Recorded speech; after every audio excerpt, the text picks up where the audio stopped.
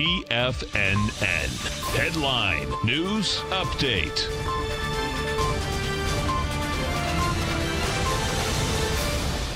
Good afternoon, everybody. I'm Tommy O'Brien coming to you live from TFNN headquarters in St. Petersburg, Florida. 1 p.m. Eastern time on Tuesday. Three hours left to go in the trading day, and we got markets pretty much around flat territory, seesawing in both directions. We get the S&Ps right now positive by six points, trading at 3,012. We got the Nasdaq negative by four points, trading at 81.58. Dow Jones positive by 89 points, trading 26,917.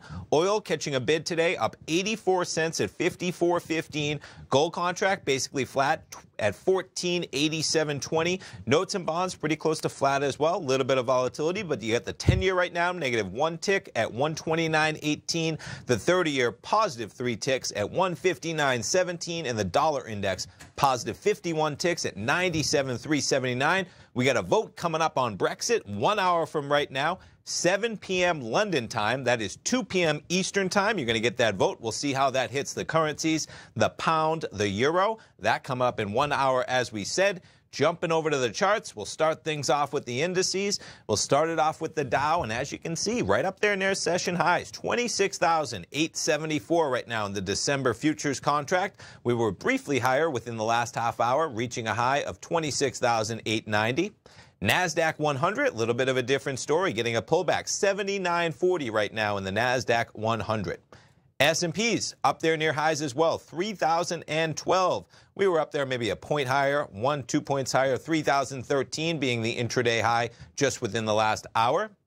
Crude oil contract catching a bid actually made a high at about 11 a.m. of $54.77. You got crude trading 54.27.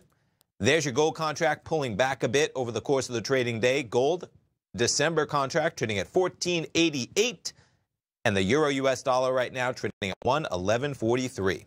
So as I stated, one hour from right now, Brexit looming. We'll pull up the headline, and there it is, as you have Boris Johnson threatening to pull the deal and seek an election.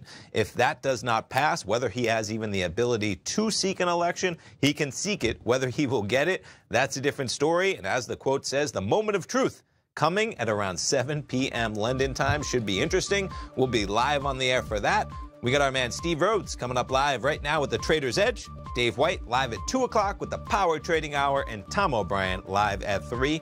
We'll be waiting for that Brexit vote. Markets kind of seesawing in both directions. Stay tuned, folks. Steve Rhodes coming up right now. We'll be right back.